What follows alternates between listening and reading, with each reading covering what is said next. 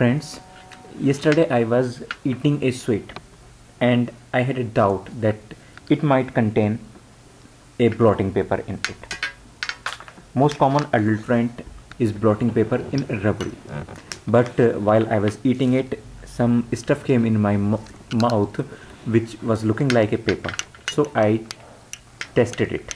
I took the hydrochloric acid from my lab and the distilled water.